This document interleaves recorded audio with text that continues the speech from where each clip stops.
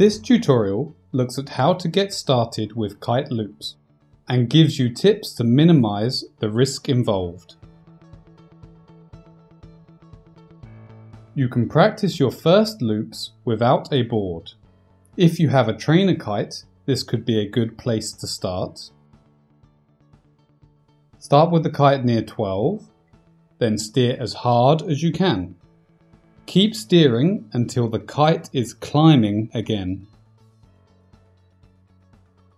Definitely do not stop steering while the kite is heading down.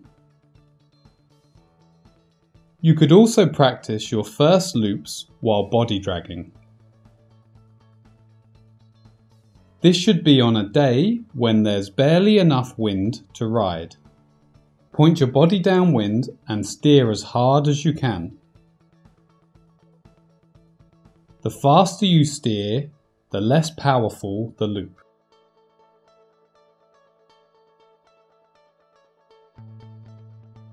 Next, you can work on kite loop water starts, also on a light wind day. As before, steer as hard as possible. Steering firmly gives a smaller loop. Steering slowly, on the other hand, gives a larger kite loop. This dives further into the power zone and pulls for much longer. It is also important to remember that the kite loop will force you downwind. You can't stop it. So, you must head downwind towards the kite as it loops.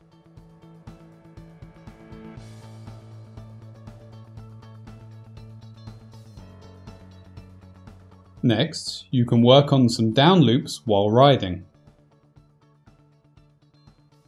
Like the water start kite loop, it is essential that you ride downwind as the kite loops.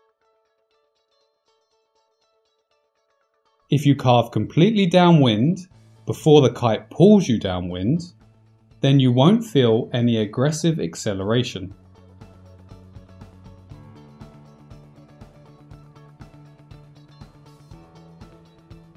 The first aerial kite loop to try is the heli loop.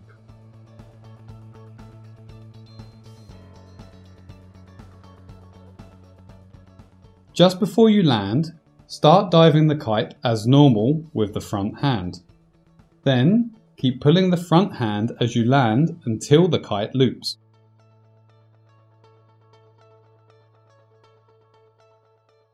The heli loop should be a short loop at the top of the wind window.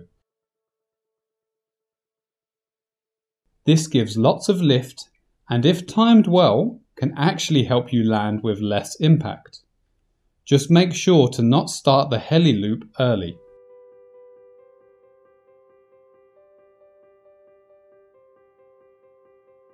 The heli loop can be a useful tool. If you notice you're landing too slowly to ride away, keep pulling the front hand and the heli loop will get you moving downwind. Final part of this tutorial is the back loop.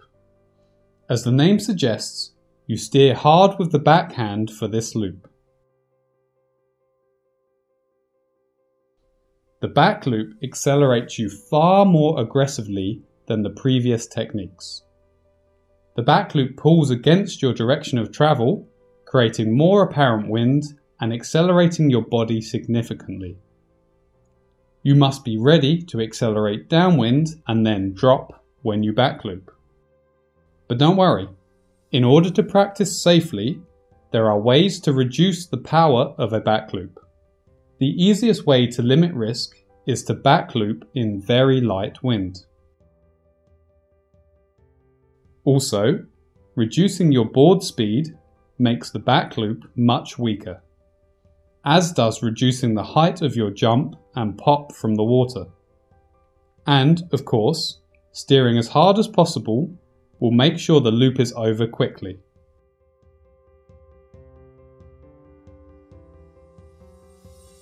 Learning to kite loop is risky, but I hope this tutorial gives you a safer way to get started.